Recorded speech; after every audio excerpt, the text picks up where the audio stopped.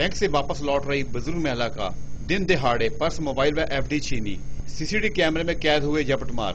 Police ने मौके पर पहुंचकर जाँच की शुरू।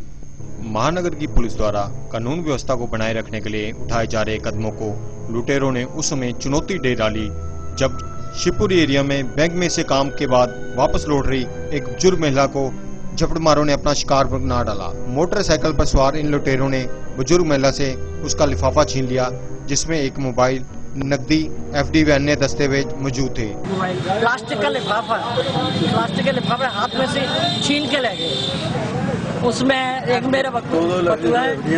नाल दो एफ़ हैं आधार कार्ड है। और मेरा मोबाइल है रूमाल है।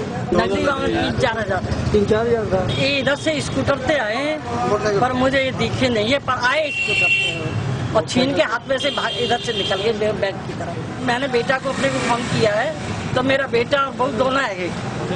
उन्होंने आते मेरे बेटे ने आते ही फ़ोन किया है फ़ोन करके आठ घंटे पंद्रह मिनट बाद ही आए। घटना के बाद पुलिस को सूचना दी गई जिसके बाद पीसीआर दस्ता मौके पर पहुँचा। इस दौरान इलाके में लगे सीसीटीवी कैमरे में मोटरसाइकिल सवार दो युवक महिला का इंतज़ार करते दिखाई दिए। गुप्ता जी ये बैंक से आ रहे थे।